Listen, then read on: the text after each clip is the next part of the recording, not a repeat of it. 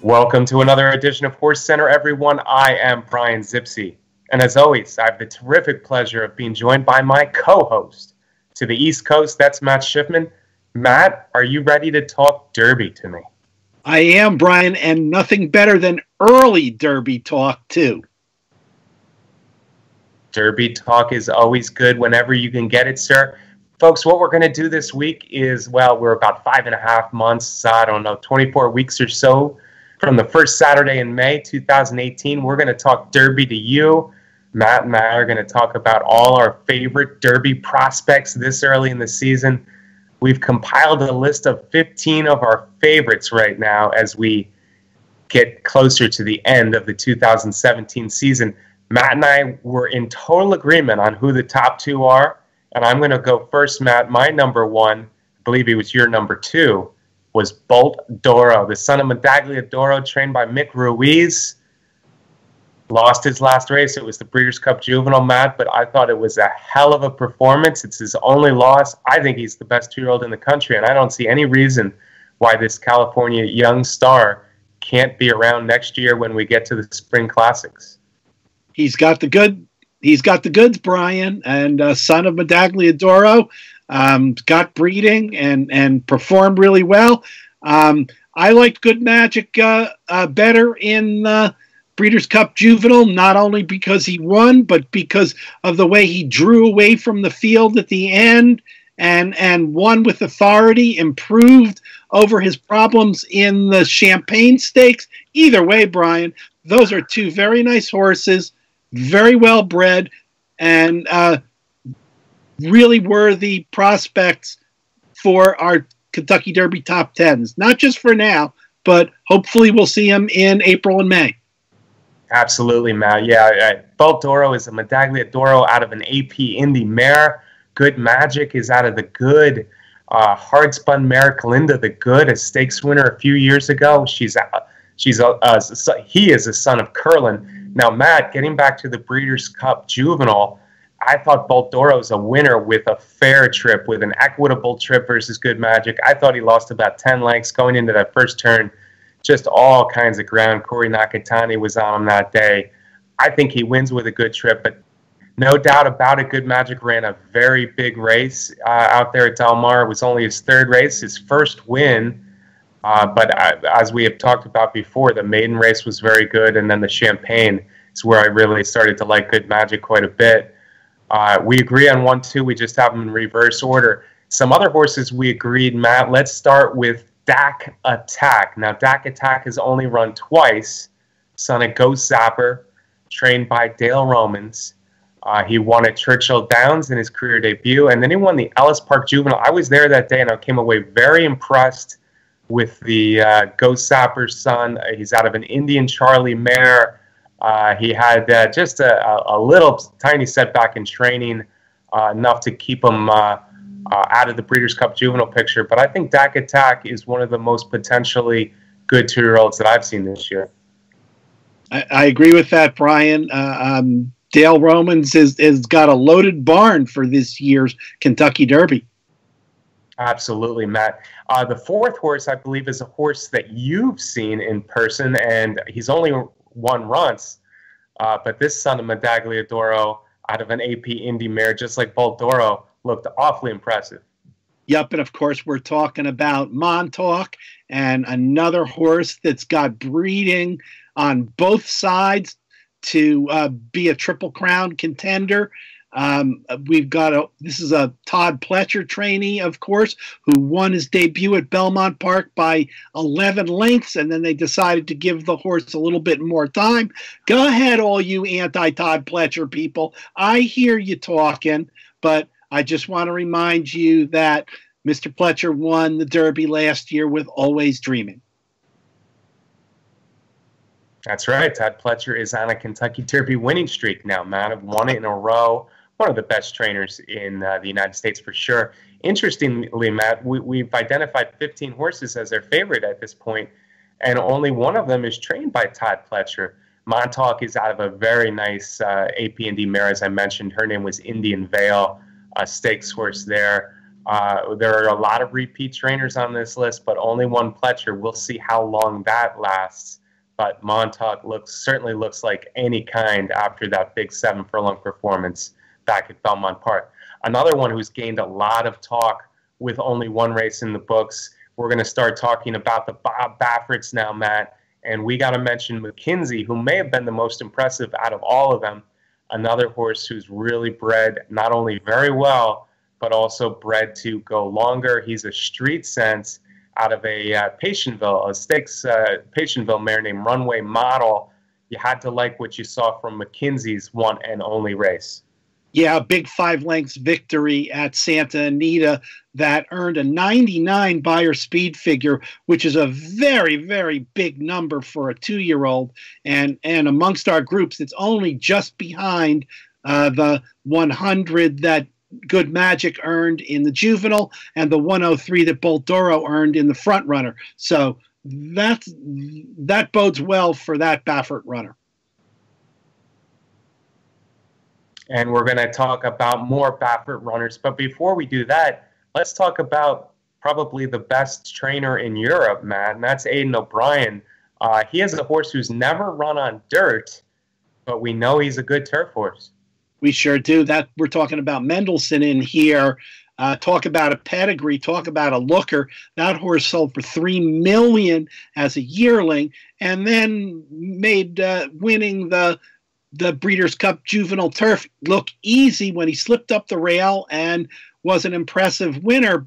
So fans, you might be saying, so why are we interested in the Derby? Because you, we all know who this uh, this cult is related to. This cult is a half to Beholder and to the prominent sire into into mischief, who has some of the horses that are we're going to talk about on our list. So um, if Aidan O'Brien's ever had a shot at the Derby, this horse has got the the dirt breeding also to go with his powerful turf win. Yeah, how good is Sire with Scat Daddy? Of course, Scat Daddy uh, died prematurely, so uh, not much left as far as the Scat Daddy line. But Mendelssohn, uh, maybe the best bred horse on this list, Matt. Impressive in the Breeders' Cup Juvenile Turf. Got a great ride, by the way, by Ryan Moore that day. Obviously, he's never run on dirt, as all his previous races came in Europe. But uh, they are definitely looking at the Kentucky Derby with this horse, Beholder's little brother, bred to run on dirt. Matt, speaking of Into Mischief, another half brother to Mendelssohn, as you mentioned, he's the sire of the next horse on our list, Engage. And Engage is another one from uh, Chad Brown's barn, just like Good Magic. Engage has yet to go a distance. He's run three times. He's uh, won two in a row, and I really like the way he rallied strongly to win the Futurity at Belmont. We want to see him run a little longer. But uh, Into Mischief out of a Speightstown mare, I think there's good reason to believe, especially the way he relaxed early and finished late in the futurity, that Engage could be a horse who gets the distance as well. Yeah, I, I like not only his closing move in there, but I like the way he pulled away uh, towards the finish line there. It looked like there was a horse coming up on his outside that was going to go right by, but when Engage was asked to run, he just pulled away and opened up to like a four or five length victory. So I really liked what I saw from uh, from that horse. Um, another horse that we have on our list is uh, is a horse that made some noise a little bit earlier this year, and that is Copper Bullet. Copper Bullet uh, had some has had some big wins. Won the Saratoga Special from the Steve Asmussen barn. I, I like this horse because he's got some experience under his belt, but he was a little bit quirky and had had had a lot to learn racing greenly. And I think if, uh, as the year goes by, and next year with experience, if Asmussen can can solve those problems, there's a lot of talent there with Copper Bullet.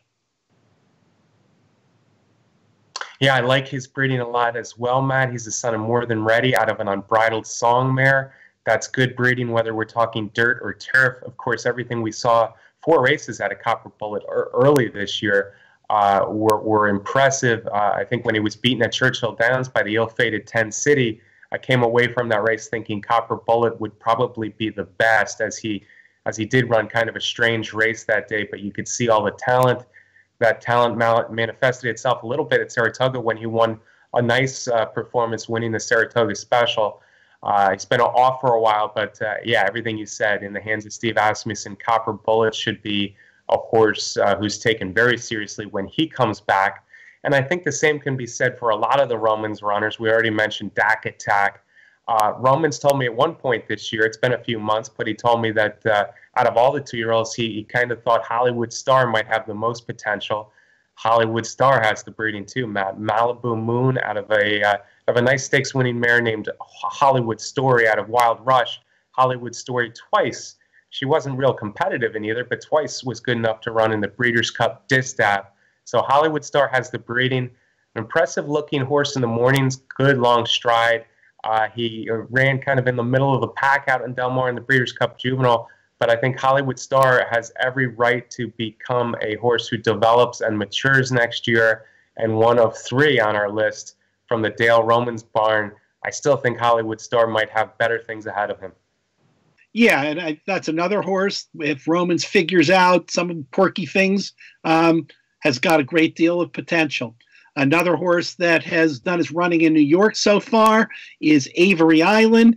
This one is out of Street Sense. Another, here we're saying it again, another AP Indy mare. We like all of those things uh, heading down the Derby Trail. Avery Island ran a big, big race to win the Nashua um, uh, just uh, just last month, and that was going a distance of ground.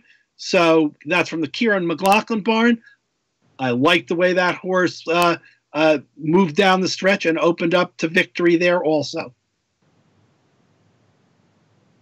Absolutely. Uh, you know, talk about breeding for 10 furlongs. You, you have to like this street sense kind of spicy AP Indy line. Uh, I think Avery Island to this point has been a little bit more of a second stringer, but uh, often these horses uh, uh, become different horses as they get older.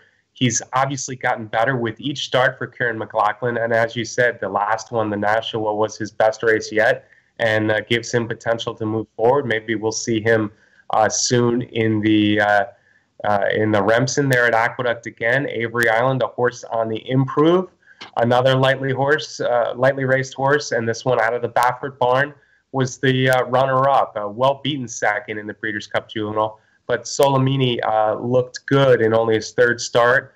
Like Avery Island, I think he's getting better with each start. He's a son of Curlin out of a Stormcat mare. Nothing wrong, wrong with the breeding there, and uh, obviously in good hands in Bob Baffert's barn yeah, and and for all of you fans of American Pharoah, Solomini is from the Zayat barn, and he ran a good race in the Breeders' Cup Juvenile too to hold off Bolt d'Oro down the stretch. So, uh, a horse who who's getting better and run a couple of nice races in California. Absolutely, Matt. And if we're talking about American Pharoah, I'll let you. Uh, I'll let oh, you oh, yeah. pick up with the next horse and and and just because we got to send we got to put this horse on the list st patrick's day st patrick's day had a nice win for for bob baffert and i'm including him on there because this is a full brother to american pharoah and what could be better than that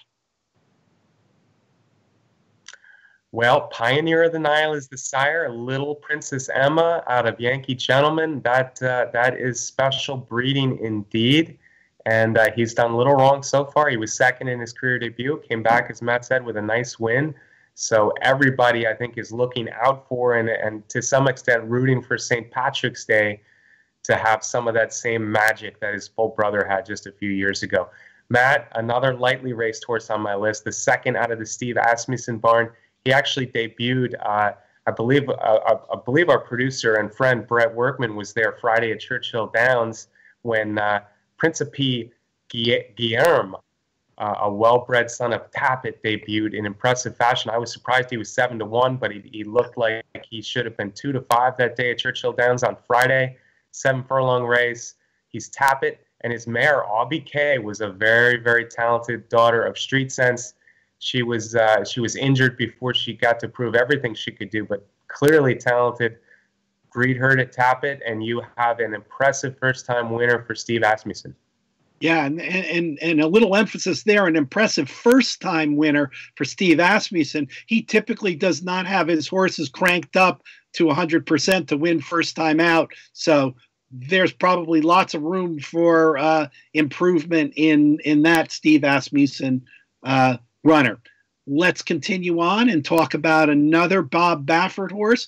This one is Zulfikhar and this this is a son of Bodemeister, and we know Bodemeister won the Derby last year with uh, Always Dreaming uh, last year, so we know he can sire the Derby horses. Um, this one's out of a mineshaft mineshaft mare, and that's good. Also, won his first time out, earning an 82 Beyer fi- speed figure. Um, Got to be on the list for you folks to keep an eye on. Yeah, that maiden win was fast, Matt. Uh, I, I, would say McKinzie has been the most impressive first time starter for Baffert uh, among his juveniles this year. But uh, Zulfikhar, uh, Bodemeister, Mineshaft should get better as distances increase. Very impressive in his maiden win. So we had two straight first time winners there uh, in our 13th and 14th. And then the 15th, I wanted to include, he ran a very disappointing race in the Breeders' Cup Juvenile, but I, I, think there's still a lot more from Free Drop Billy. He's a horse I liked, uh, obviously, all along. Son of Union Rags, who's been proving to be a very good sire, a Belmont winner out of a Giants Causeway mare. So there's reason to believe that Free Drop Billy uh, will certainly take to the classic distances. I think he just didn't run his race for whatever reason at Del Mar, so I'm going to draw a line through that. He was very impressive in Kentucky, uh, winning uh, both the Churchill Downs and the Grade One Keeneland. So I think Free Drop Billy is a horse we needed on the list, Matt, and the third from the barn of Dale Romans. Yeah, a little bit in and out there for uh, Free Drop Billy, but these are two year olds, and that's okay. I'm sure Dale Romans will uh, give his runners a little bit of time off now, a month or two, and get them on the Derby Trail. Um, so it'll be a challenge for Romans to to keep his three apart while they're earning points to get into the starting gate on the first Saturday in May. And uh, folks, if you're keeping score at home, that, that's 15 horses we mentioned. Matt, I believe we mentioned four from the barn of Bob Baffert, three from the barn of Dale Romans, who's yet to win the Kentucky Derby, but he's been knocking on the door for years. The Louisville native, I expect him to win the Derby sooner than later. We also mentioned a couple from the barn of both Steve Asmussen and Chad Brown, two of the top trainers in America as well. So uh, overall, that list of 15 was uh, uh, a total of eight different trainers, Aidan O'Brien, Todd Pletcher among them. But uh, number one on my list was the Mick Ruis, Bolt D'Oro. Matt had good magic number one, but we both saw them as the top two juveniles right now. Folks, we hope this gets you off to a good start thinking Kentucky Derby five and a half months will go like a snap of the fingers, and we'll be at Kentucky Derby 2018 before you know it. Can I get a few parting shots from you, Mr. Shifman? Absolutely. And folks, you, you should keep track of this list because the first Kentucky Derby future wager pool is coming up in just a week or so. It, it's uh, it, I think the wagering is Thanksgiving weekend, so you might want to see how many of these horses are on that list of 23 and see if we're getting some good odds. I always like to take a look at those future pools, Brian, just for the heck of it. And as and as always, I want it's to fun. Thank, yeah, yeah, a couple bucks here and there uh, uh, can't hurt.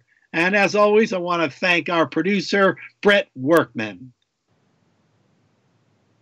Yeah, Matt, Matt, Matt, you're right. If we can get one of these, any one of these 15, there's not a there's not a sprinter type on this list, folks. So if any one of these 15 are 80, 90 to 1 on the early list just because maybe they lost their last race or not a lot have heard of them yet, do consider uh, put a few bucks down on them. And like we said, it, it's it's all for fun. Thank you, as Matt said, to Brett Workman, our wonderful producer. Thank you to the best contest site out there, Derby Wars, our sponsor. And thank you most of all to all you who watch every week. We sure do appreciate you tuning into HorseCenter. We will be back with plenty more Kentucky Derby talk. We still have some big races to go, though, in 2017. Matt and I will be back next Tuesday to talk more about what's going on the rest of the season. For now, Have a great week. Thank you for watching. We'll see you next week.